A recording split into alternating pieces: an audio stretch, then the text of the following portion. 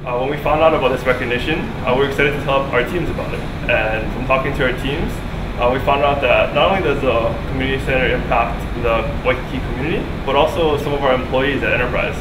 Um, we have several employees who spoke about knowing people or using the, the services that the community center provides.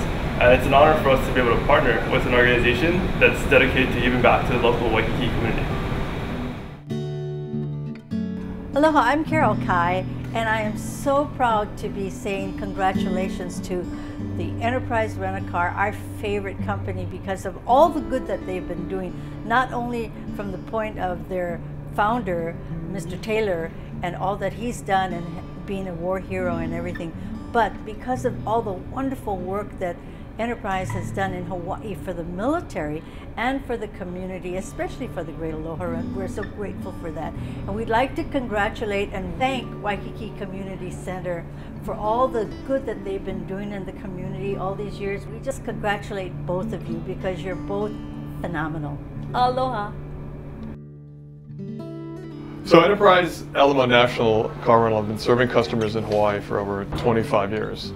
And honestly, on behalf of our over 1,100 employees across the state, we're just extremely humbled to be receiving this award. As our footprint has expanded throughout Hawaii, we're fortunate to work with many great hotel partners throughout Waikiki. Enterprise in Hawaii is also part of a family-owned company whose core values reflect the importance of giving back and getting involved in our communities where we live and work. Over the past several years, when many of our hotel partners asked us to get more involved with the Waikiki Community Center, all we really wanted to know is what else can we do to help. When you learn about the Waikiki Community Center's programs for Kupuna and our Keiki, the impact they have is truly amazing.